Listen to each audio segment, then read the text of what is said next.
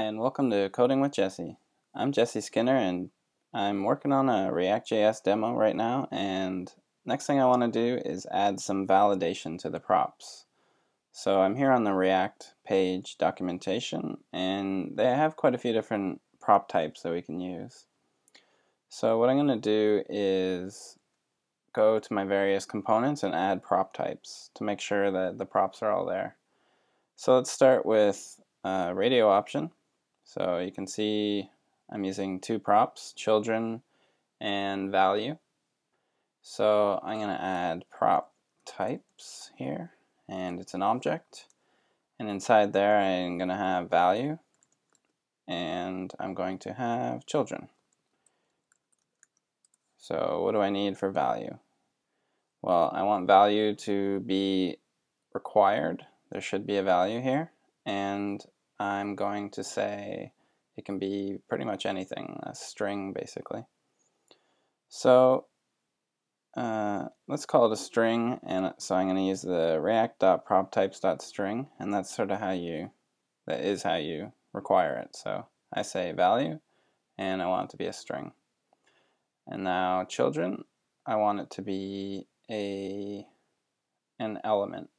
So I'm going to copy element, it can be anything though. Um, actually, node, it says anything that can be rendered. So that's appropriate for children as well. So let's just use that. I'm going to say value is required. And here's how you do that. And then children can just be anything. So I should be able to refresh my demo and it should just work fine. Uh, let's make sure it's working by trying to break it. So if I go to my group, and let's say I leave value off, let's say I forget value. If I refresh, it's still working, but I bet if I go into my console, yeah, so it's saying warning, required prop value is not specified in radio option. That's great. So I get a warning there, and if I put that back or refresh, the warning's gone. So that's a way to help sort of document your code. Um, warnings are going to show up if people do something wrong, and then it helps your components be more reusable because, you know, that way people know what to expect and what they're missing. So I'm going to add a new property type to my radio option, and that is name. So right now I have refer hard-coded in here for my question type. But I'm going to make that into a property. So let's say this props.name, and I'm going to say name needs to be a string and it's required, just like value. So I haven't started using name yet, and so I'm going to pass it in to my option group. Now, where do I get the name from? Well, the option group itself should, the name should be the same across the whole option group. So it's going to pull in the name too. Uh, now, you'd think I'd want to do this dot props dot name, but the problem is here, this is not going to refer to the component because we're inside this other function. So what I'm going to do is make a variable here inside the render function and use a, a JavaScript closure. So that's how it's going to access the properties. So then my radio option group itself is going to have prop types. It's going to, the only prop type it's going to have is the name. And it's going to be, I'll just copy paste it from radio option because it's the same. I want it to be a string and I want it to be required. You have to pass in a name. Alright, so if I go up to, well let's refresh the page first and see where the warnings show up. Alright, so I got a warning that the property name was not specified in radio option group. Check the render method of demo.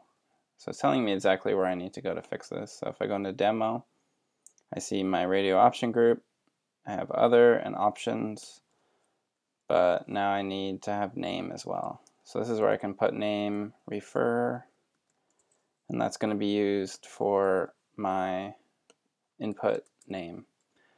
So that way I can have more than one radio option group and I can give the form elements different names and it's going to use that to submit to the server. Alright, so I should also define other and options. So options is definitely required. Uh, other is optional and it's a boolean. So let's put those in. So other is a React prop types dot bool. I believe it's just the word bool. Let's go to the documentation. Yep, bool. And it's optional, so I'm not going to put the is required part. And then we also have uh, this props options that should be a an array and it is required. Alright, so that should take care of that. Now my radio option group is well documented or better documented. And if I if anyone tries to use those incorrectly, it's going to fail. Uh, what else can I do? So, oh, one thing, the last thing I need to do is deal with my radio other option. So if I go into that, that's my the last option, other. It's still using name refer, so I need to have it uh, use the props. So I'm going to say this props name. Here, let me split this up so it's readable. And so I'm going to add prop types to this as well, saying that name is required. Prop types, name, and I'm going to say react dot prop types dot uh, string, and it is required.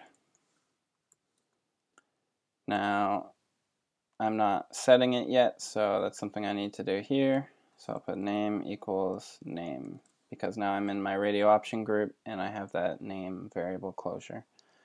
So if everything works, I should be able to refresh. It should be no warnings, or maybe I missed something. Yeah, there's no warnings.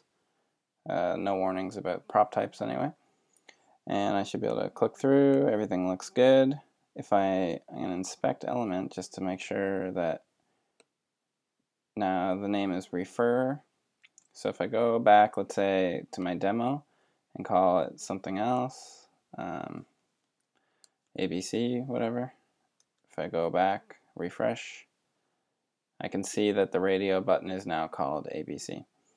So there you have it. I've basically just made my radio option group much more reusable and it's got probably everything you need to reuse it. So there you have it. I've created a reusable React component. I can use this throughout this website. I can even use it on other websites, and uh, it's uh, that's the benefit of using React that you can create components for common things you're doing and, and reuse them. All right, I hope you enjoyed it. In the next episode, I'm going to get this ready for production. So I'm going to convert all my JSX files into regular JavaScript files. I hope you stay tuned. Thanks for watching.